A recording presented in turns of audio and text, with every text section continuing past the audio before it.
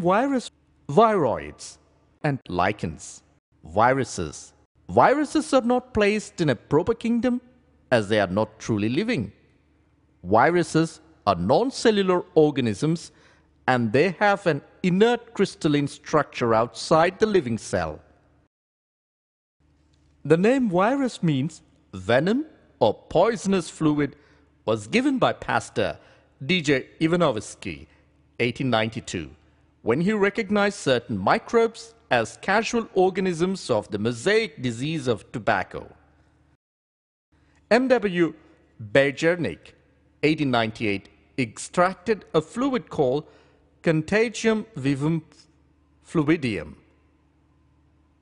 infectious living fluid, which caused infection in healthy plants. W. M. Stanley, 1935, crystallized the viruses and shown that crystals consist largely of proteins. Viruses are obligate parasites as they are inert outside their specific host cell. Body has protein coat called capsid and genetic material is DNA or RNA. No virus contains both RNA and DNA. Plant viruses have single-stranded RNA. Animal viruses have double-stranded DNA or RNA.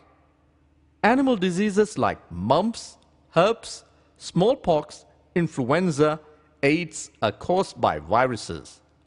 Plant diseases like mosaic, leaf rolling, curling, yellowing of leaves is caused by viruses. Viroids, discovered by T.O. Diener in 1971. Smaller than virus and lack protein coat, hence called viroids.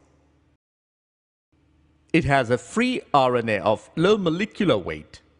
It caused potato spindle tuber disease. Lichens.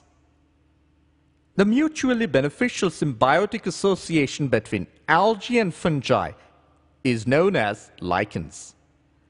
The algal component is known as phycobiont and fungal component as mycobiont, which are autotrophic and heterotrophic respectively.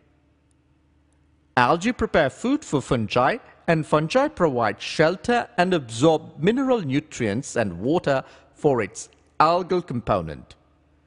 Lichens do not grow in polluted areas and hence they are very good pollution indicators.